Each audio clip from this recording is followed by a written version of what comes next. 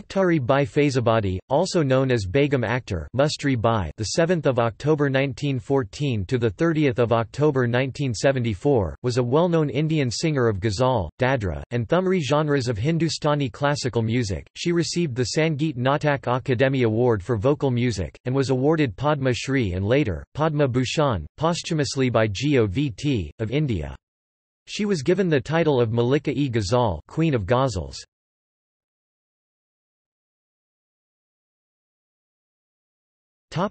Early life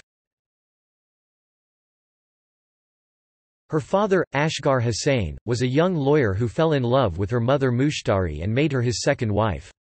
He subsequently disowned her and his twin daughters Zora and Bibi Akhtar.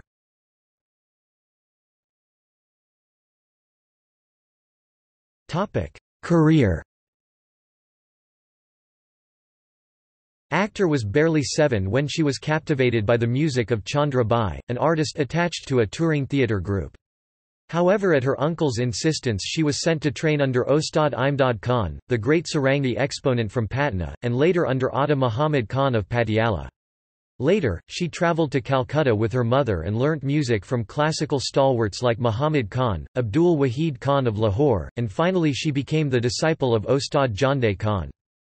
Her first public performance was at the age of 15. The famous poet Sarojini Naidu appreciated her singing during a concert which was organized in the aid of victims of the 1934 Nepal Bihar earthquake. This encouraged her to continue singing ghazals with more enthusiasm. She cut her first disc for the Megaphone Record Company, at that time. A number of gramophone records were released carrying her ghazals, dadras, thumris, etc. She was amongst the early female singers to give public concert, and break away from singing in mehfils or private gatherings, and in time came to be known as Malika-e-Ghazal Queen of Ghazal. Begum Akhtar's good looks and sensitive voice made her an ideal candidate for a film career in her early years. When she heard great musicians like Gauhar Jan and Malik Jan, however, she decided to forsake the glamour of the film world for a career in Indian classical music. Her supreme artistry in light classical music had its moorings in the tradition of pure classicism. She chose her repertoire in primarily classical modes, a variety of rags, ranging from simple to complex. After the advent of Talkie era in India, Begum Akhtar acted in a few Hindi movies in the 1930s. East India Film Company of Calcutta approached her to act in King for a Day, alias Ek Din Ka Badshah and Nal Damayanti in 1933. Like others of that era, she sang her songs herself in all her films. She continued acting in the following years. Subsequently, Begum Akhtar moved back to Lucknow where she was approached by the famous producer-director Mehboob Khan, to act in Roti which was released in 1942 and whose music was composed by the maestro Anil Biswas.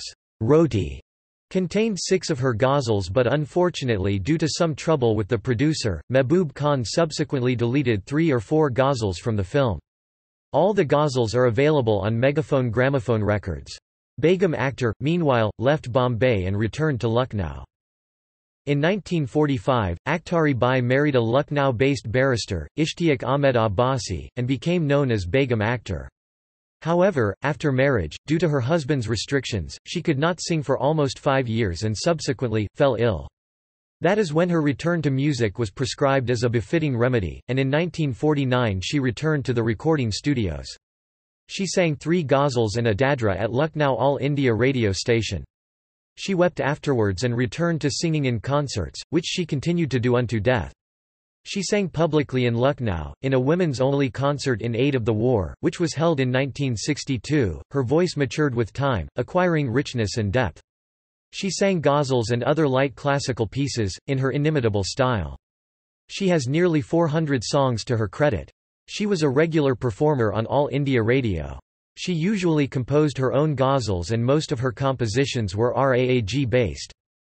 She sang the timeless Bengali classical song, Jakona Koresh Aari.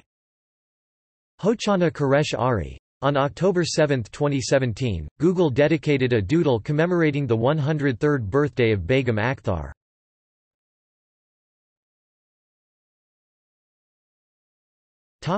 Death During her last concert in Balaramapuram near Tiruvananthapuram, she raised the pitch of her voice as she felt that her singing had not been as good as she had wanted it to be and felt unwell. The stress she put herself under resulted in her falling ill and she was rushed to the hospital. She died on 30 October 1974 in the arms of Nilam Gamadia, her friend, who invited her to Ahmedabad, which became her final performance. Her tomb was a mango orchard within her home, Pasanda Bagh in Thakurganj area, of Lucknow. She was buried alongside her mother, Mushtari Sahiba. However, over the years, much of the garden has been lost to the growing city, and the tomb has fallen into disrepair. The marble graves enclosed in a red brick enclosure, were restored in 2012, along with their Pietra dura-style marble inlay. Attempts are on to convert her home built in 1936 in China Bazaar, Lucknow into a museum. Her disciples include Shanti Hiranand, who later received Padma Shri and wrote, a biography Begum Akhtar, The Story of My Ami 2005. Art critic S. Kalidas directed a documentary on her titled Hai Akhtari.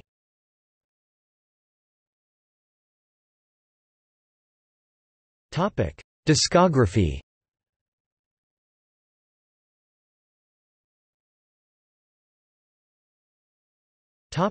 List See Begum Akhtar songs for comprehensive list.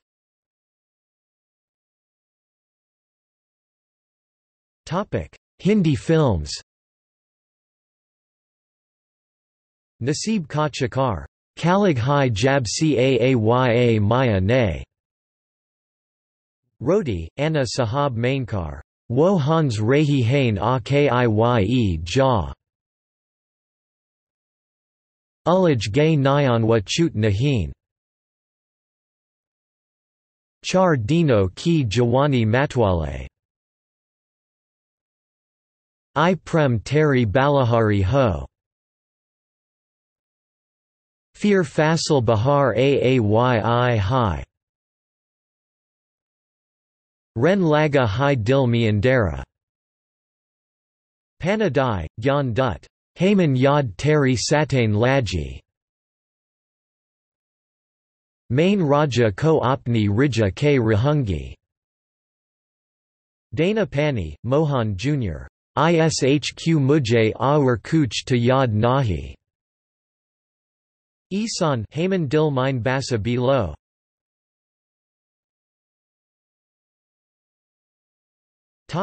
Filmography.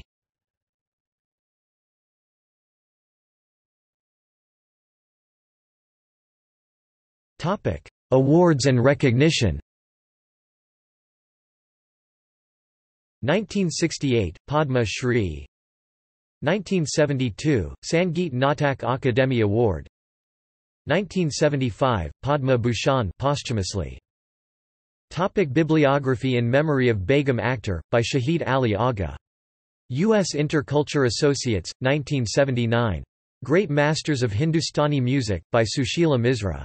Published by Hem Publishers, 1981. Chapter 26. Begum Akhtar, The Queen of Ghazal, by Sutapa Mukherjee. Rupa & Co., 2005, ISBN 81-7167-985-4. Begum Akhtar, The Story of My Ami, by Shanti Hiranand. Published by Viva Books, 2005, ISBN 81-309-0172-2.